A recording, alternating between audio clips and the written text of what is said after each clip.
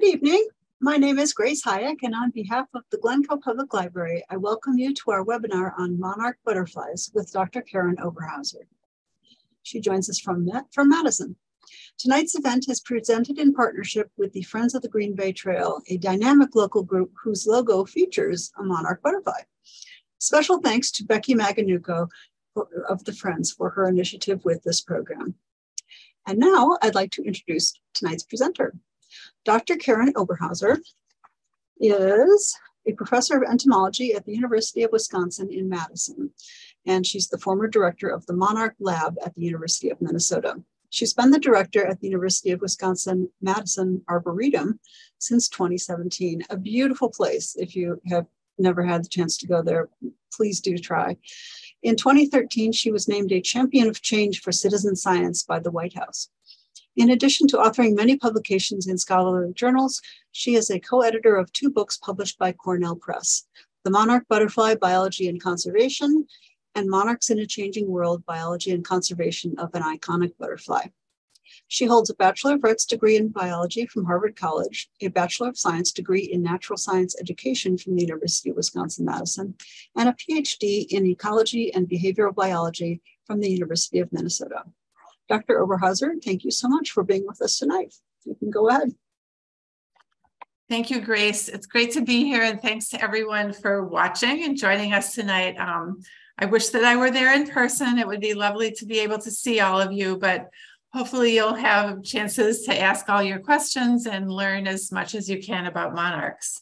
Um, I'll be talking about monarchs first and then a little bit about the Arboretum because I know, um, having grown up in Wisconsin and lived here much of my life, that Green Bay is not very far from Madison. So hopefully you'll be able to come down and visit the Arboretum at some point.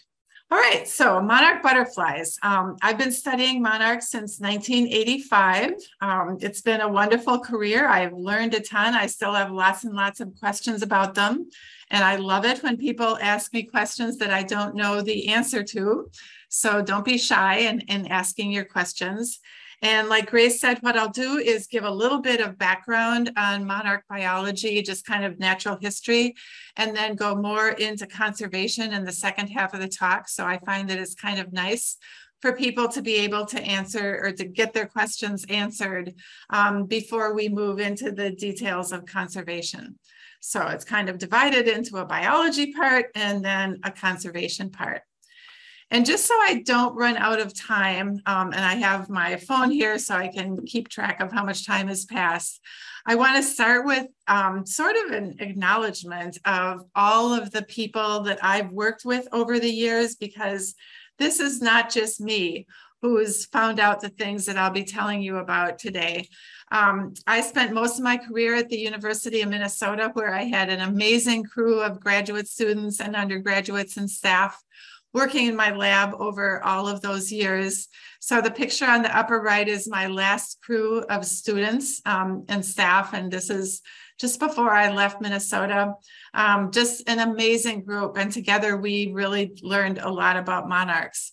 And this is my new academic family on the bottom left um, the Arboretum staff, which is another wonderful group to work with. We work on um, education and outreach and land care and research. So this is this is the group um, standing in front of the lilacs this spring on kind of a cold day, getting our picture taken. And finally, a lot of um, people have helped us learn about monarchs. These are citizen scientists from all over North America. And because I'm kind of have family as a theme here, my academic families, these two citizen scientists here are my parents. Um, I grew up in Clintonville, Wisconsin, not too far from Green Bay. When people ask me where I'm from, I say Clintonville, which is if you take a straight line and go from Wausau to Green Bay, Clintonville would be right in the middle of that line. So that's where I grew up. Um, that's this picture was taken close to there. And these are my parents who have been engaged citizen scientists helping study monarchs for a long time. And then many other collaborators that I'm not going to really have time to thank today. So, starting with monarchs, um, monarchs have an amazingly complex and exciting life history. And I think that's one of the reasons they're so popular among the public is that they're just so interesting because of, of the way they live their lives out there in the world. So I'm going to start by talking about the individual life cycle. That's the life cycle that every single individual monarch goes through, um, if it makes it through the whole life cycle. Um, and it starts out life as an egg. It's an egg for four to five days. There are probably not very many eggs in Wisconsin right now um, because the monarchs that are here right now are not reproductive. We'll talk about that later. Um, the egg is about the size of a pinhead. So monarchs start out life um, as an egg, always on a almost always on a milkweed plant and usually laid on the bottom of a leaf and usually laid one at a time. So this is picture is really upside down, but it just looks weird if I put it the other way.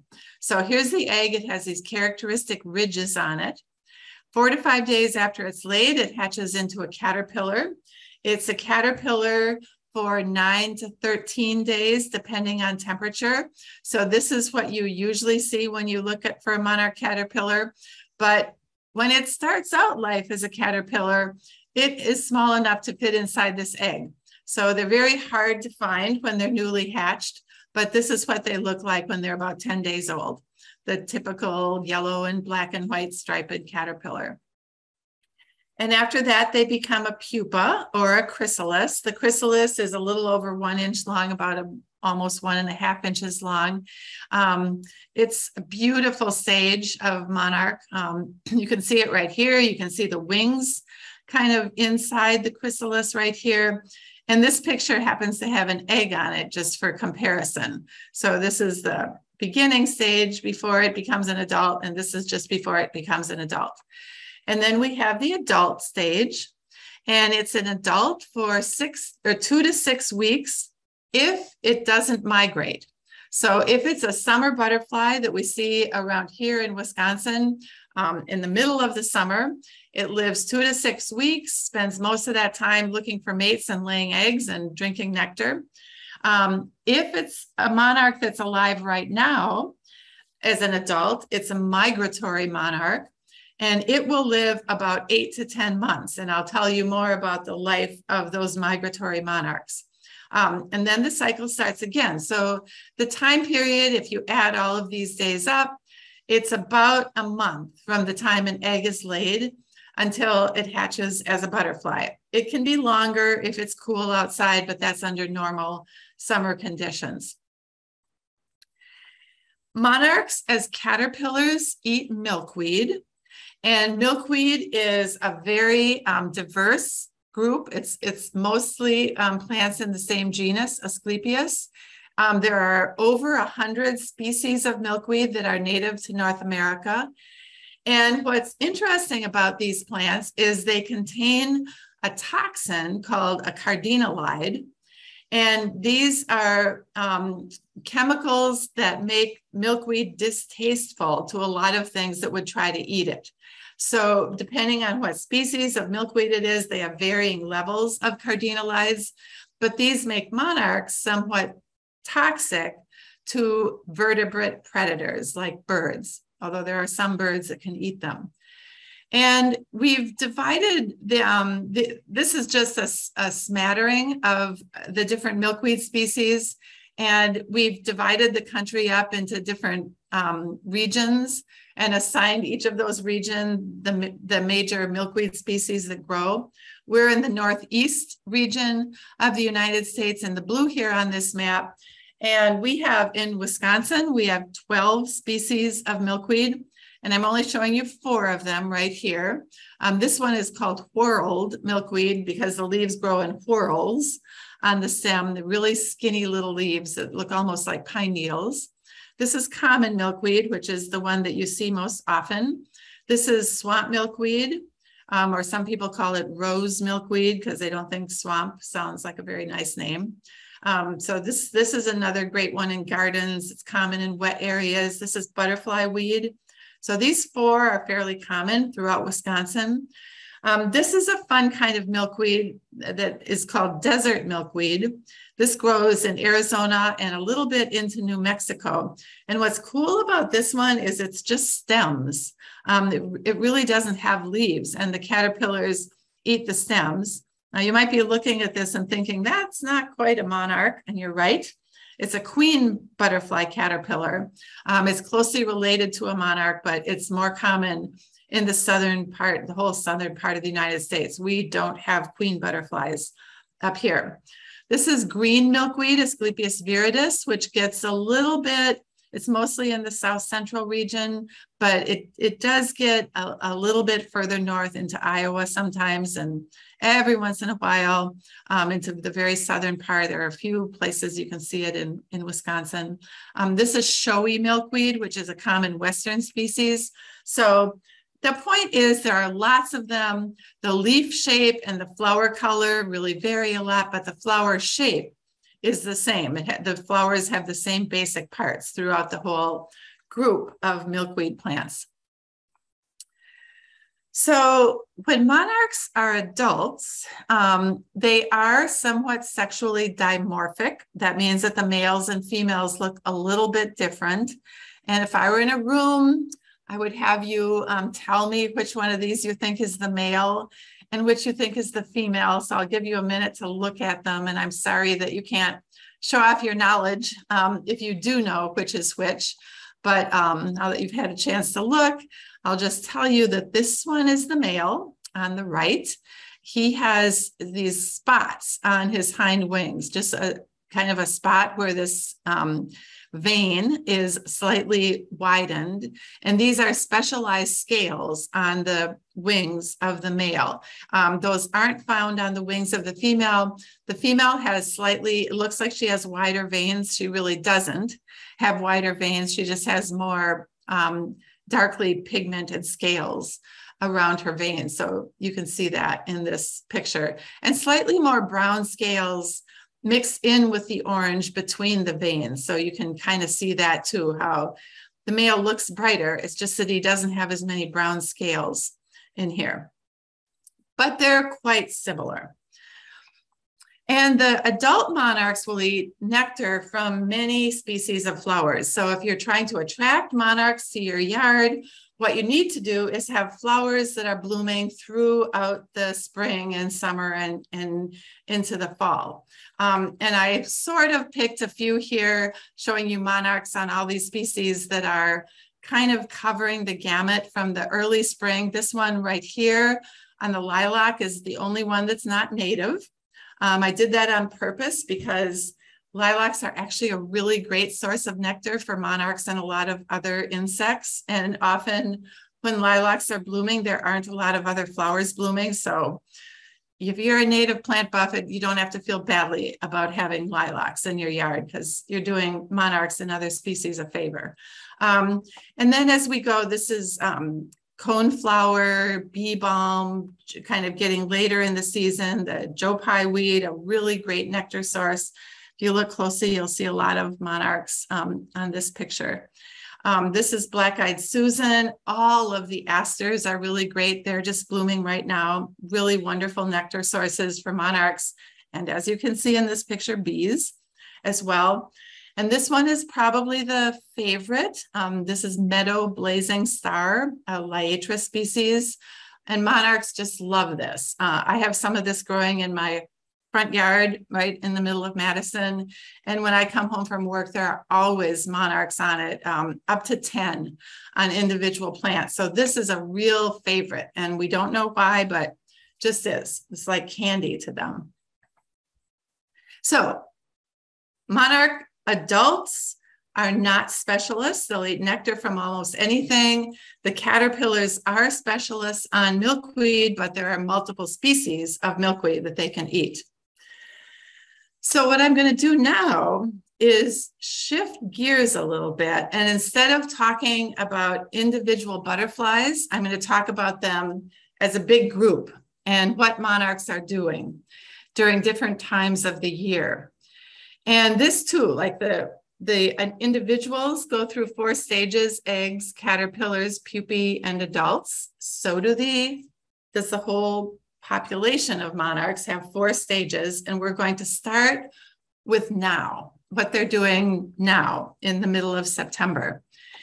They are migrating south, and these butterflies are physiologically different from the ones in the summertime. They're in a, a state that we call diapause, and this is just a, a slowing down of their development. So these butterflies look like normal adults. They look like adults in the summer, but if you could peek inside them, they would not have mature reproductive organs. So the females don't have any eggs in their bodies yet. Their ovaries are empty. Um, I've dissected a lot of them. I, I used to study monarch reproduction. So um, this is something that I've learned a lot about over the course of my decades studying monarchs. And the males would have very small, undeveloped testes inside them. So they're they're different on the inside, even though they look the same on the outside. And what they're doing is those butterflies are leaving Wisconsin, um, leaving the whole northern part of their breeding range, and they're starting their journey south. And I'm going to show you a map in a couple minutes of just where they are right now. So they're moving south. They're going to funnel down through Texas, and they're going to get to the central part of Mexico. And this journey takes them well over two months. They started in August and they'll get to these overwintering sites in Mexico in late October or early November. So this is happening all over here from Maine and into southern Canada and, and south, um, west and south. And there are butterflies that are east of the Appalachian Mountains that we don't know why this happens, but some of them end up in the Florida Peninsula where they join this continuously breeding population of monarchs that's kind of shown in southern Florida here. But the vast majority of monarchs in North America and the world are following these solid lines going south. Um, there is a fairly distinct population of monarchs that lives west of the Rocky Mountains, and these go to sites along the coast of California. But there is some genetic interchange between these populations. They're, they're very closely related. They're the same species. They're not really genetically differentiated. Um, and that's because the, there are some from Arizona, especially, that have been tagged in the fall and show up in the Mexican overwintering sites. So monarchs from this part of the country sometimes go west to California and sometimes go south to Mexico. So the populations are together. There's there's some overlap in in Mexico. So these monarchs fly all the way down. So these are the flight paths of individual monarchs going to the overwintering sites in Mexico. They stay in Mexico. So this is that six to eight months that I was telling you about. They stay in Mexico until about mid March of next year. So the butterflies that left your yards up in Green Bay are on their way to Mexico. They'll stay there and they'll start back in the middle of March. So the spring migration, the northward migration, starts in Mexico. Um, basically, those butterflies get back to the southeastern quarter of the United States if they're part of this eastern population. And then it's a new generation that goes north in back into this northern breeding range. And a similar thing is happening with the Western population. We don't really know the degree to which butterflies from Mexico go into this Western population. It's really hard to track that. Um, but we think that some of them probably do go back and we don't know if it's the same ones. It's, it's really, really difficult to tell that. So they get back here and that new generation will get back here. And uh, by they'll get to madison about may 10th they'll get to green bay about may 20th or so. And then they'll go through two to three generations that don't migrate. They're part of these breeding generations and the population is building up at this time. And then the cycle starts again. They'll head back in fall of 2023 so the, these monarchs cover a huge, huge area, and it's really difficult to count them. But because they overwinter together in these fairly discrete locations, we can estimate the size of the population every year. In Mexico, we measure monarchs in hectares. We measure monarchs by the number of the amount of land that's covered with trees, covered with monarchs. I'll show you a couple pictures of that later.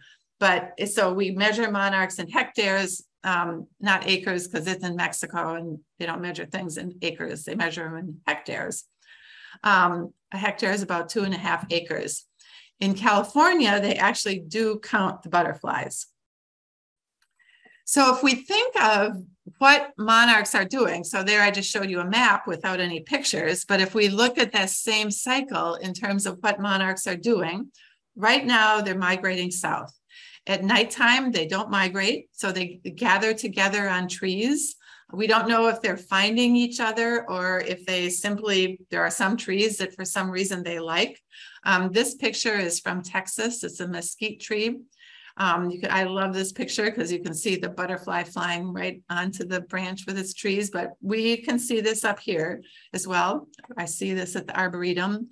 Um, and they're nectaring along the way. They actually gain weight as they're flying south. So they need a lot of nectar along the way. This is a monarch on ironweed in my yard in Minnesota.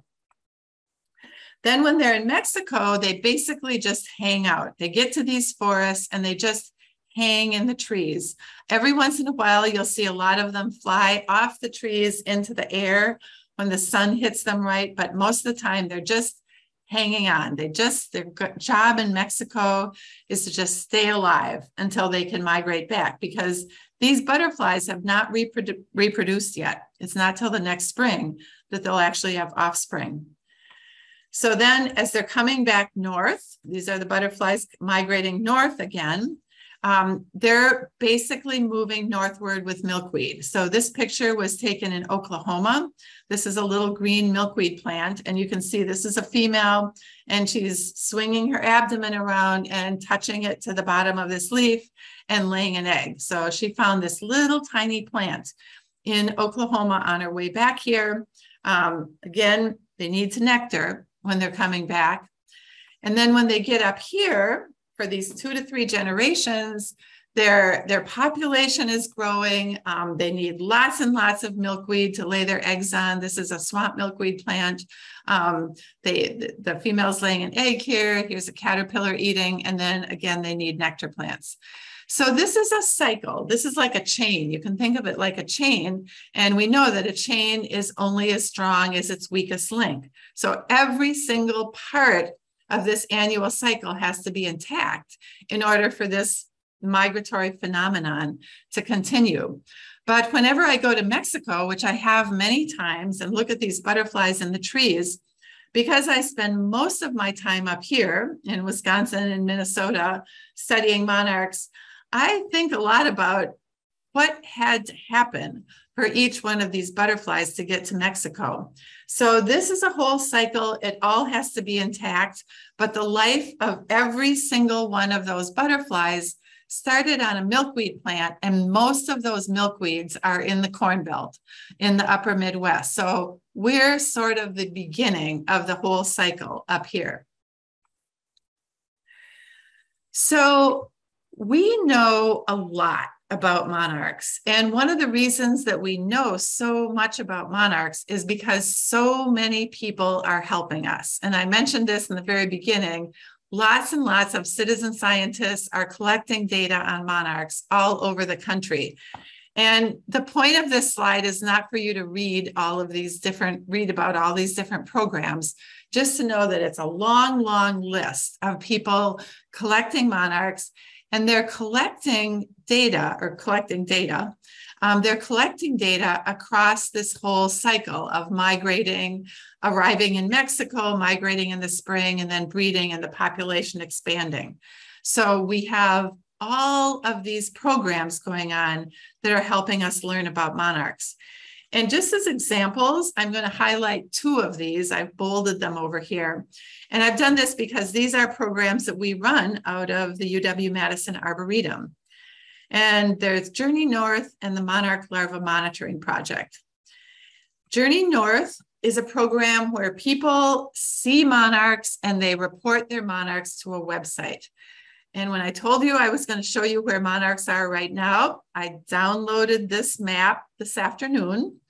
Um, and these are sightings of fall roosting sites. So like that picture that I showed you of all the monarchs gathering in a tree, these are monarch fall roosts. And this is where people have spotted them. So each one of these dots is somebody spotting a, a roosting cluster of monarchs in a tree.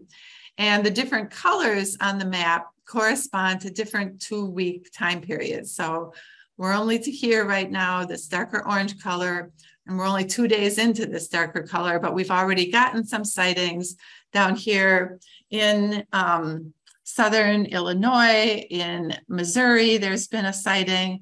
There have been some sightings up here. There, there still will be monarch roosting sites up here. They don't all leave at exactly the same time. But this is what's happening. The monarchs are moving south right now. And this map will expand over the next month or so until they start to arrive in Mexico. In the spring, so this is, we're going back in time here. These are sightings from spring on Journey North. And this is the monarchs moving northward in the spring. And we have the same system here with two week time periods um, with the lighter colors are earlier and you can see as the monarchs come north, we see more and more spots. And again, this is just a person seeing their first monarch of the year and reporting it to this website. And the dots that have a little white square in them are, um, they've included a photograph of the monarch they saw in that sighting. And you can go to this map in the spring. I love doing this and clicking on these dots and seeing the pictures as I'm waiting for monarchs to come back here into southern Wisconsin. So you can see we've seen a lot of, we saw a lot of monarchs. A lot of people reported their first monarch in Wisconsin last spring.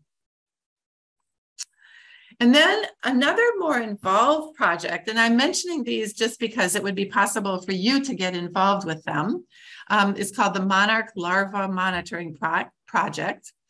And this is a program where people set up sites that they go, they, they look at monarchs in any given site. It can be their garden, a park, a roadside, a prairie, basically anywhere that milkweed grows. And every week they give us a description, or every year they give us a description of the site, which tells us about the where it is, what kind of site it is, what kind of milkweed plants grow there. And then every week they go out and monitor for monarchs. Um, they look for the eggs and the caterpillars. And here's a picture of all the different sizes of the caterpillars that they look for. Um, here's somebody finding a great big fat monarch caterpillar on a leaf. You can see where the monarch has been eating right there. Um, this is a great project for kids. It's actually nice. They don't have to bend over so much. So they're out reporting the monarchs that they see to us. Um, we also, if you are on vacation, if, you, if you're a regular monitor, you just want to try it out, you can give us reports of your monarchs from non-site. So you don't have to set up an, an official site. You can just log on to the website and say, I looked at some milkweed plants and I saw some monarch caterpillars or, or eggs. So it's a great project. Um, we have lots of volunteers all over the country. Um, here you can see a map of where we have sites. And just because there are a lot of dots on the map doesn't mean we don't need more people doing this. Um, it's over a thousand sites that have been monitored. We started this project in 1997.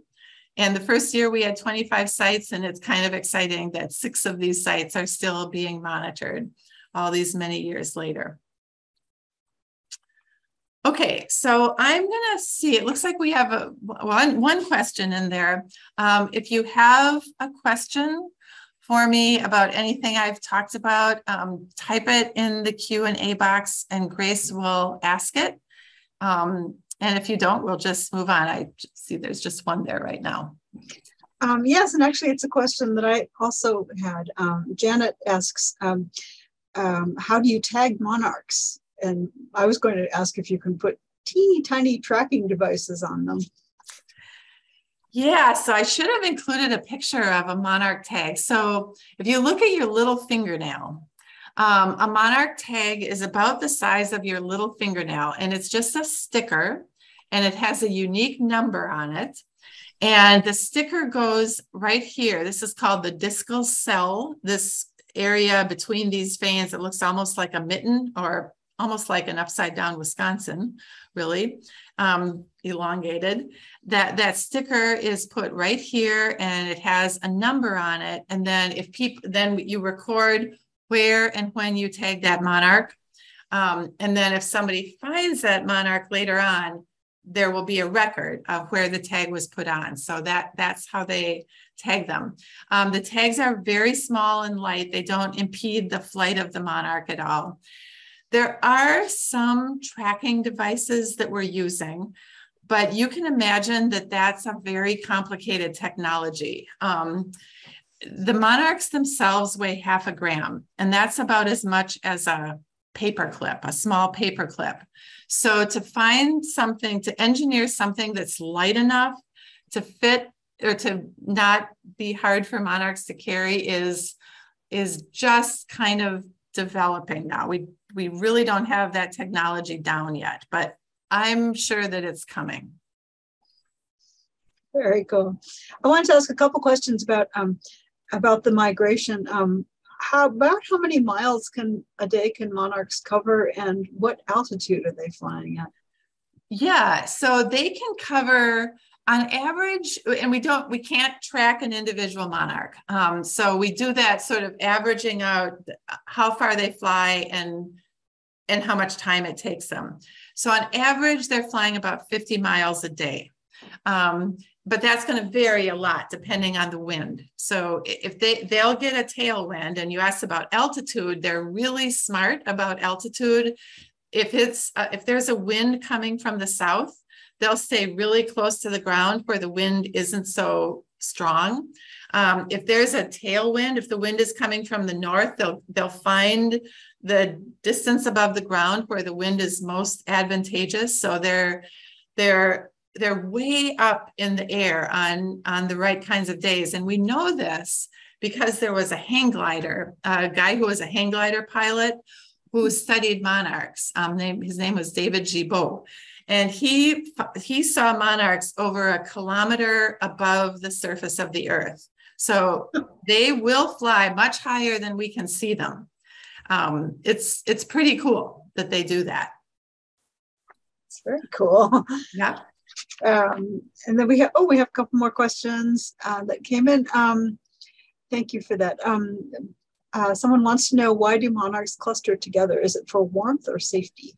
Yeah, that is a really good question. Um, and the short answer is we don't know. And we have tried to study that. Um, in Mexico, there is some thermal. So, if we talk about the clusters in Mexico, there is some thermal advantage to them being all together, and it sometimes gets really cold. So, we think that, and also there's certainly um, kind of a safety in numbers thing. There are predators there, and you know, if you're a monarch that's one of a million, the chances of you getting eaten, you being the one eaten by that oriole that comes along um, are much smaller than if you're um, in a you know this huge this huge mass is a lot better than just being all by yourself.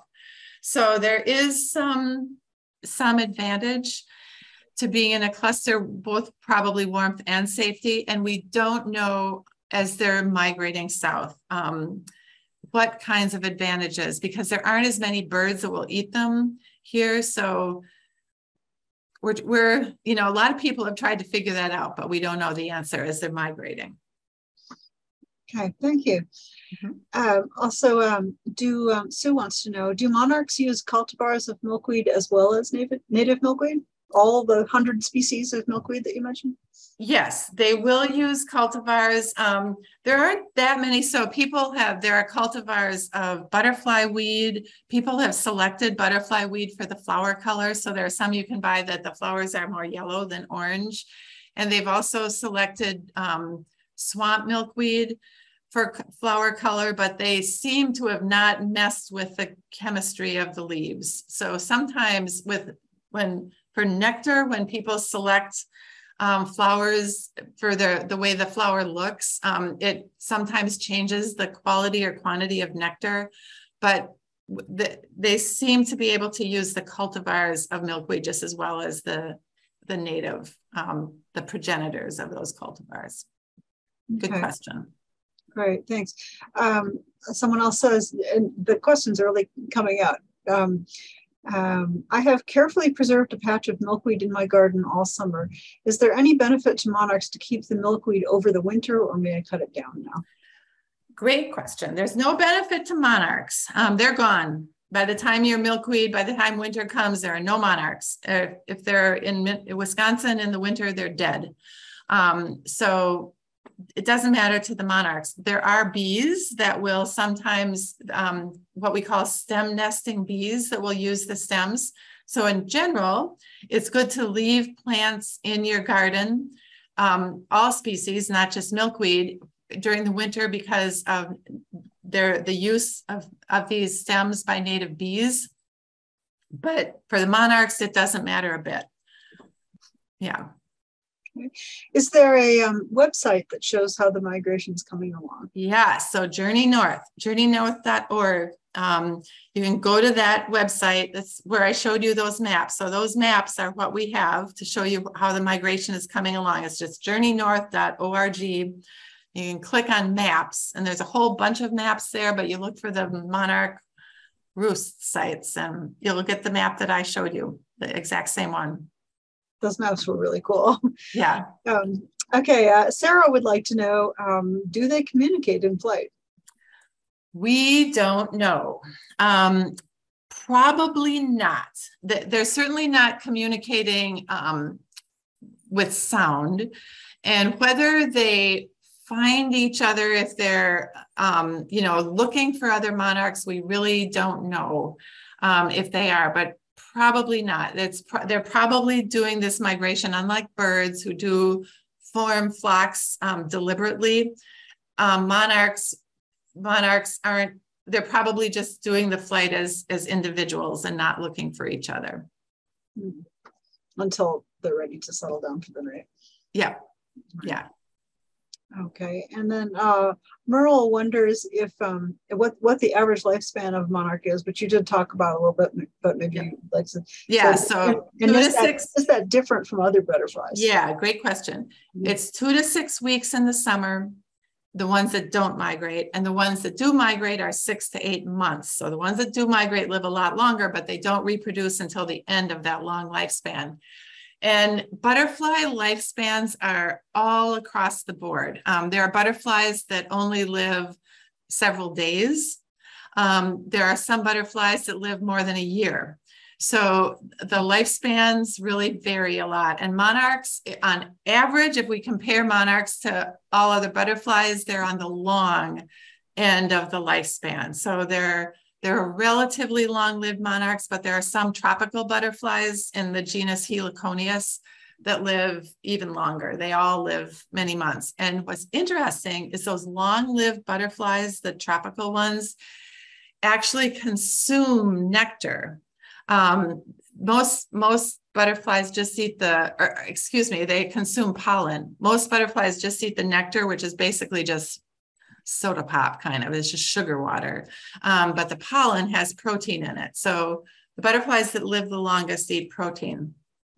Great question. I think we should probably move on grace. Um, and actually the the last two questions we can keep them i see them up here but those will go with the conservation so hopefully we'll have time to get them but i want to make sure we get to the rest of the talk so Thank you for all of your wonderful questions. Um, it's really fun. You, you had great questions. So what we're going to do now is move on to the conservation part of the talk. And I'm just going to start by saying that monarch numbers are declining. Um, people care a lot. People are really concerned about monarchs, but their numbers are going down. And remember that I told you that in for this eastern migratory population, we measure monarchs by hectares. Um, and this is the area that they occupy in Mexico in hectares. And just a reminder that a hectare is about two and a half acres. So people go to go to these overwintering sites, people that live in Mexico, measure the area that's occupied by trees covered with monarchs or with monarchs in them. And here you can see um, we've been doing this since 1993. And these are what the numbers have been. And you can see there is a ton of up and down. The monarchs, you know, they can go, if we look at 2003 compared to 2004, that's a decline of about 75% in one year.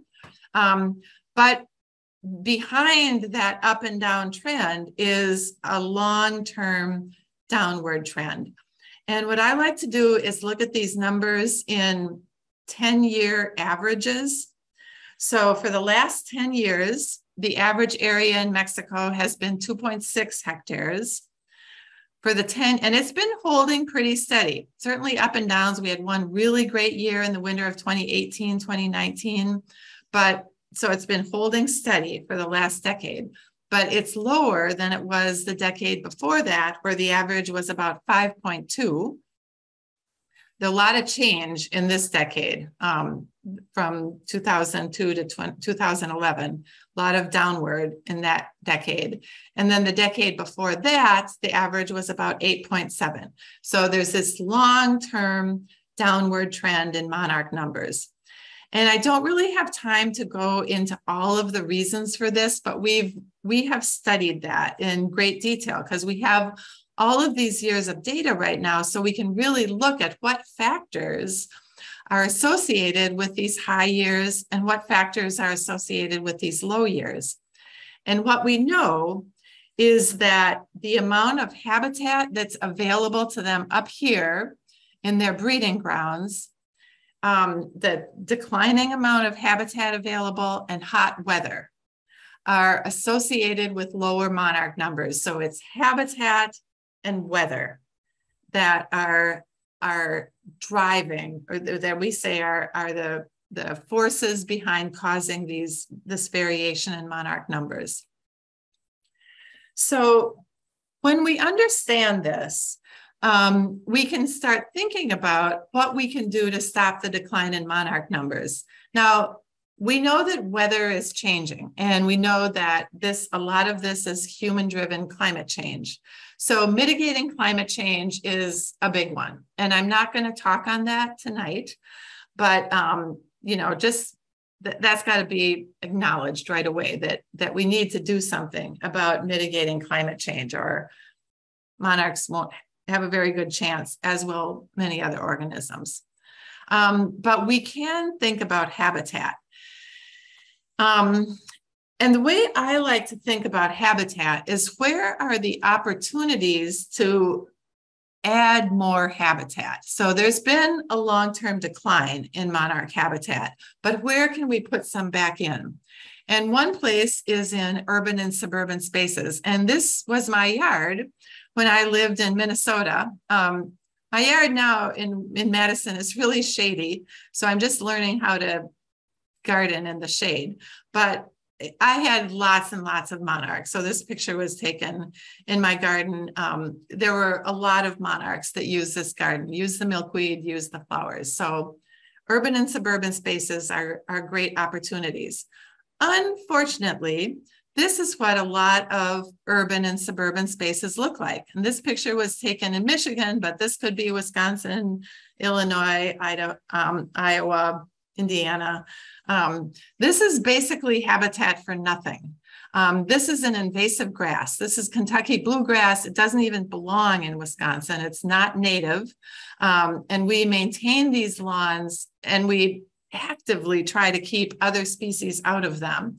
So this is this is what we should not be doing um, is is maintaining putting all the water and chemicals and gas in our lawnmowers into maintaining these green lawns that are habit are not habitat for anything. So that's one place to start is is taking out as much lawn as we can and putting back real habitat. Another opportunity is agricultural set aside land. And this is land that was farmed and now it's being changed. We've been pulling it out of agriculture and putting it into habitat. So this picture is a cornfield. This picture was taken in Iowa, and this is a prairie strip. Here's the corn over here. So this is a prairie put in in between the rows of cornfields and it's so it's set aside. That means it's it's set aside for nature. So that's another opportunity is taking some land out of production um, another great opportunity is rights of ways. And these are often linear habitats that allow monarchs and other species kind of a way to get from one big habitat to another one. This picture was taken along Highway 35 in southern um, Minnesota. Um, you obviously don't want the habitat right next to the road. That's not safe for drivers.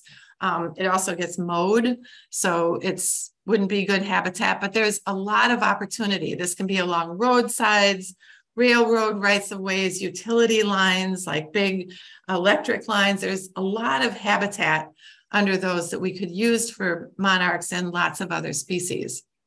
Uh, and again, we have to think about the mowing that needs to occur. So we shouldn't be planting the milkweed right next to the road because it's just going to get mowed, um, killing whatever monarchs are on it. Another opportunity is land that's already protected. So this is a grassland that's managed or owned and managed by the by us, the taxpayers, um, U.S. Forest Service land. So this is a national grasslands area in South Dakota. So there is a lot of land that's already protected that we can do something about, that we can make it better habitat for monarchs and other species. And finally, there's what we call marginal agricultural land. So this picture was taken in southern Wisconsin. Um, this you can tell because you're from Wisconsin, you know this is a cornfield. Um, this is a cornfield that flooded. It floods most years. Um, so there are only a few years that it's actually productive. And if we pulled some of this marginal land out of production and put it back into native habitat, that would give us a lot more habitat for monarchs and a lot of other species. So there's lots of opportunities out there to create more habitat for monarchs. And then what can you do as an individual? I mean, you might not be a farmer, you might not have access to a lot of land, um, but there are things that we as individuals can do. We can create habitat. Um, it doesn't have to be habitat that we can we own. Um, we can help out at a local nature center. Maybe your local library has some land. Um, anywhere there's lawn, we can we can create habitat there. And, you know, you can do what I did pretty easily in my front yard in Minnesota. and I'm doing here in, in Madison. You can contribute to Monarch Citizen Science. Um, join Journey North. You can look at those maps and then you can see your first monarch or see a roost and report to that. Um, join the MLMP Monarch Larva Monitoring Project. Many ways to contribute to Monarch Citizen Science. You can support conservation organizations. So, any organization that um, is raising funds to support habitat conservation needs needs our, our money and our support. These can be big organizations that are nationwide, like the Nature Conservancy, the Wisconsin chapter of the Nature Conservancy, your local um, nature center, any organization that's um, supporting habitat. Um, needs needs our money and our support. Um, after you hear me talk for an hour, you will be a monarch expert. Um, you can spread the word. You can tell your friends and neighbors about monarch conservation because it's really going to take all of us working together. Um, and then you can do what you can to mitigate climate change, um, decrease your own carbon footprint on the earth. Um, so I'm going to just for a couple minutes here at the end, and I, I see I do have a couple minutes, and I'll this will just take me some time. But now that I'm the director of the UW Madison Arboretum, um, I think a lot about what the Arboretum is doing for conservation of, of a lot of species. Um, and this is a talk given by, or a short excerpt from a talk given by Aldo Leopold in 1934 when the Arboretum was dedicated. Um, and he said, This is the function of the Arboretum. It's a reconstructed sample of old Wisconsin to serve as a benchmark, a starting point in the long and laborious job of building a permanent and mutually beneficial relationship between people and the land. So that is what we're all about. And that's what we need to do is bring ourselves back into better connection with the land. Um, I hope that you all come visit us. Um, you could maybe mention in the chat if you've ever been to the Arboretum. Um, we have lots of habitat here. We're 1,200 acres in Madison. Here's a map, and here's kind of a bird's eye view. There's downtown Madison. In the background, this is Lake Wingra and Lake Monona over here. Um, we're we are smack dab in the middle. Uh, this is the belt line going through. We've got some land south of the belt line, some land north of the belt line but it's 1,200 acres and a lot of great monarch habitat there. Um, we also have some outlying properties, over 500 acres, mostly in southern Wisconsin, but one up near Minocqua. Up here, varying sizes of these um, parcels. These are mostly remnant parcels, so they've never been plowed, never been farmed. And this is land that we're managing also, owned by the university, managed by the Arboretum. Um, and I think really importantly, the Arboretum is really the birthplace of the field of restoration ecology. So if you've ever worked on restoring any land, a prairie or anything else, that got its start at the UW-Madison Arboretum. We have the first restored prairie in the world. Curtis Prairie, which is right outside my office window. Um, native plants were first put in there in 1936 in 60 acres um, of what had been just overgrazed pasture land. Um, we have so we have the first restored prairie, Curtis Prairie, and then we have what we think is the third restored prairie, um, what's called Greene Prairie, which is south of the Beltline. So it really is the birthplace of this whole field of, of bringing back that relationship between people and the land. So, you know, sometimes I get asked about why do we care? Um, you know, why does it matter? What does everything we're doing really make a difference? And whether we care about monarchs themselves or not, I really do think that what we do for monarchs will, will be worthwhile because monarchs exist in this really interesting mosaic of rare and pristine habitat, like um, prairie remnants that are about the most rare habitat out there, but also common and disturbed habitats. You can see a milkweed plant growing out of a crack in a sidewalk, and a monarch can find and use that milkweed plant. Um, and these habitats are shared with lots of other species hopefully um, you would agree with me that they're a really interesting organism. And because you asked me questions that we still don't know the answer to, we can learn a lot about the natural world from monarchs by continuing to study them. And they have this migration um, that is an unmatched biological phenomenon. There are other butterflies and other insects that migrate, but none in such a regular um, and kind of repeatable and predictable pattern as monarchs do. So they have this incredible, incredible migration that's just predictable every single year. It's like clockwork. So my goal is to make sure that is still happening for my grandchildren, which I'm starting to have right now. Um, so anyway, that's that's what I hope happens because of what we're doing right now. So I'm going to stop again and I see some more questions coming in and, and we'll have some time to answer them. And I'll leave this slide up for a couple minutes just in case you want to email, you don't get your question answered. Okay, thank you.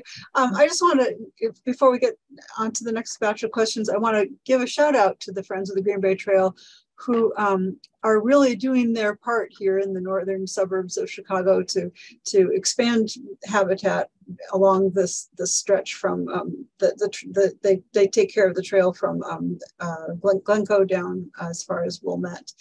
And um, uh, they've planted a ton of habitat and, and, lots of milkweed, of course. And they even have a hatchery um, at about the halfway point. Um, and kids. Great. And I want to apologize because I've been saying all along Green Bay, but you're not in Green Bay. So I'm really sorry for that. no problem. That's embarrassing, um, but I gave a yeah. talk for Green Bay and I was just kind of mixed up here tonight. But Green Bay Trail sounds like it should be in Green Bay, but it, yeah, it goes to Green Bay. So don't right. worry about that. Um, okay. I just want you to know. Um, um, and then um, so so yeah, I mean the Friends have really done a lot for for um, monarchs around here. And then also I wanted to mention to people in Glencoe that um, there have been the sustainability task force has planted um, a lot of um, native plants along the side of village hall. And um, i just noticed them recently and i don't know how long they've been there but they look beautiful and they're it's another little piece of things. So um, so we're trying and we're going to keep trying.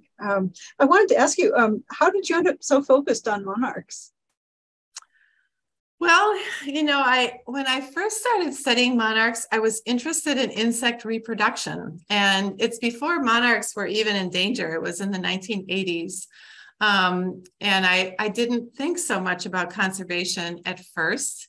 Um, I, I just was really interested in insect reproduction and studied monarchs for kind of practical reasons because they were pretty easy to raise, um, were very common. So it was pretty practical. And, and I spent, I did my PhD on monarchs, studying their reproduction, and probably the first, um, oh, like six or seven years after that. And then as the numbers were declining and as my own career was evolving, I was having graduate students who had broader interest in monarchs. Gradually, we kind of shifted over to focusing on monarch conservation very broadly. But um, I started out, yeah, just really interested in how many eggs they laid and um, how many times they mated and those kinds of questions. I've, I've got an egg question for you right here. Uh, right. asks, um, how do you stop ants from taking the eggs off milkweed plants? Yeah, so I didn't really go into all the things that eat monarchs, but sounds like Joan knows that egg ants eat a lot of monarch eggs and caterpillars. Um, ants, um, stink bugs, mites, spiders, um, a whole bunch of other kinds of bugs, beetles, the Asian ladybird beetles, the multicolored Asian ladybugs, and other ladybugs as well. So it, there are lots of things that eat monarchs, and on average, probably about two out of a hundred survive to become an adult. Um, so there's very high mortality, and ants are one of the things that are out there. And there's really nothing we can do about that because if we sprayed an insecticide, that would kill the monarchs as well. Um, a female can lay 500 eggs in her lifetime. So if two of those survive, or 10 of those survive. Um, she's that population is growing. You know, you know how fast the human population would grow if we all had 10 children that survived.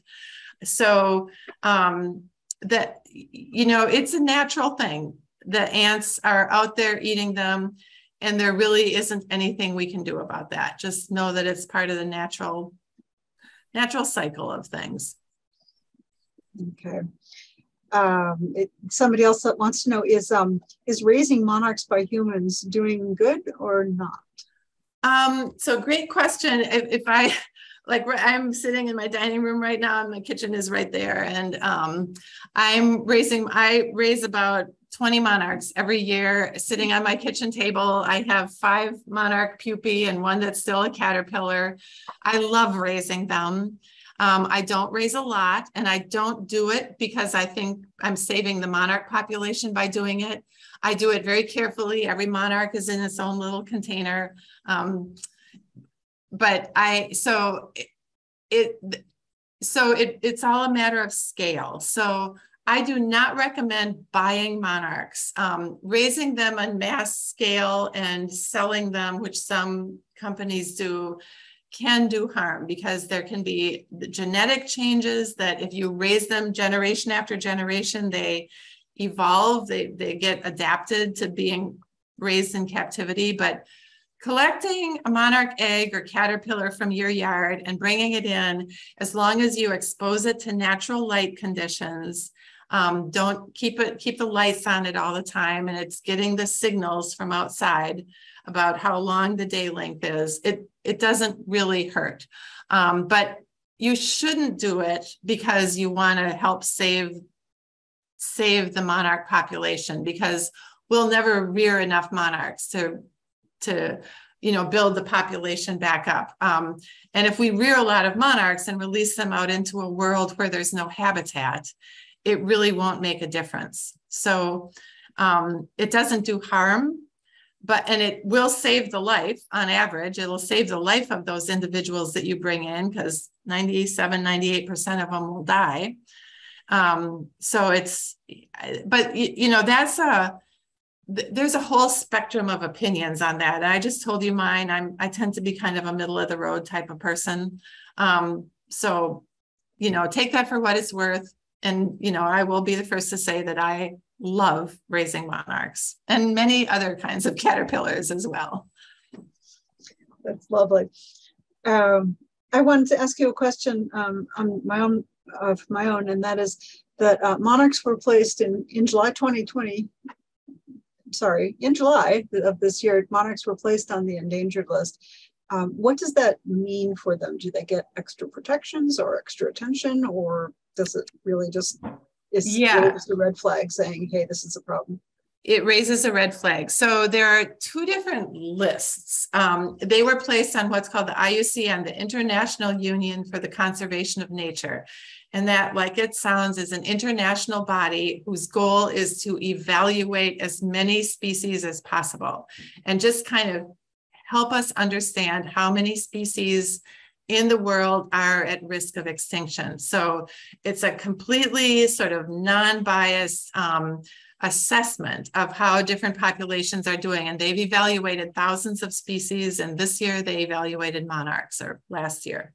Um, so, and I was involved, I helped review that assessment. So it's, it's not, it, it's a just a scientific thing. It, it doesn't carry any protection. It doesn't mean that we, you know, will be obligated to do anything to protect monarchs because this is an international body. There, there also was an attempt by some groups to list them by the Fish and Wildlife Service under the to give them legal protection under the Endangered Species Act in the United States, which would have had legal teeth, so to say. Um, so that that would have been different. But the IUCN listing, and that was there was a petition to do that, and the Fish and Wildlife Service determined that they warranted listing but the, the listing was precluded because there are so many species that are even worse off. So if that would have happened, it would have meant legal protection, but the listing that did happen doesn't, it's it's just kind of a red flag, like you said. Well, maybe it'll help focus some attention anyway. That's the hope. Yeah. Um, uh, okay, and then uh, just a couple more questions. Um, Linda says she has a lot of common milkweed pods. What can she do with them? So there are quite a few groups. So um, I'm not sure where you are, but the uh, the Fish and Wildlife Service collects milkweed pods. There are a lot of groups here in Madison, the Audubon Society, um, some other local nature centers. So you might ask a local nature center if they're interested. I know they would be a lot more interested if you clean the seeds, if you took the fluff off of those milkweed seeds, um, because it's actually kind of hard. Um, I've done that a lot, and you come out just like covered with fluff. So, you know, they would be happier to get the seeds from you than the pods, because if you give them the pods, they've got a lot more work to do. But I think you might be able to find a nature center and you can look online for ways to clean the seed. There are many different opinions on how to do that, um, ranging from spinners to fire to doing it with your fingers. Um, lots of ways to do that. Um, I hope I'm correct in saying it. I know that last year, anyway, the Friends of Green Trail had a seed cleaning um, party, or a series of them actually, sitting in somebody's garage.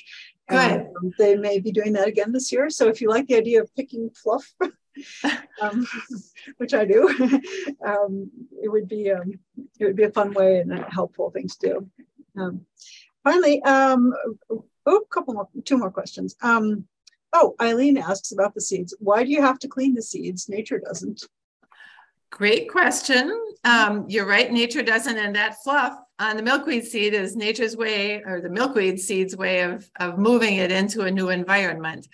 But um, if you put, so when people plant the milkweed seed, they often mix that milkweed seed in with a lot of other prairie seeds, and the fluff just makes it harder to handle. Um, if you've ever worked with it, if you're out trying to plant milkweed seeds and the fluff is still on them, it'll they'll just blow away and not go where you want them to go. So it's it's just easier to plant them if the fluff has been removed. So what would happen in nature is they would blow a ways and then they'd land on the ground and that fluff would just break off naturally. But it's just because of the way that we do restorations that we want them cleaned off. I love that question. good question. Yeah. yeah, it was good. Um, yeah. Okay, and finally, um, Ronald asks. Um, he says he has four. He had four caterpillars on his milkweed last week. Do they have a chance of making it south? Yes, they have a chance their chance is lower. So my last caterpillar that I'm raising right now is going to pupate tomorrow or the next day. Um, so it'll be an adult butterfly in early October. Um, and I know that it has a lower chance of making it south. Um, the ones leaving now for various reasons. For one thing, it's going to be warmer, so they can fly better when it's warmer. Um, and there will be more nectar available to them. If you've looked out in a prairie recently, the flowers are starting to get old and there aren't as many flowers available and there really won't, won't be in a couple weeks. So they have a chance, but the chance is less than if they were an adult right now heading south. Go caterpillars, go. Go, right. All right. Well, um, Thank you so much, Dr. Oberhauser. This is delightful, informative, and um, thank you for sharing your knowledge and your enthusiasm on this important subject. And finally, thanks again to the Friends of the Green Bay Trail for their continued partnership in offering environmental programs. Uh, we, we've had this lovely, long um, programming relationship with them, and it's, it's yielded some wonderful things. So um, that being said, um, good night, everybody. Bye-bye. Thank you. Thank you. Thanks, Grace. It was really fun. Good questions.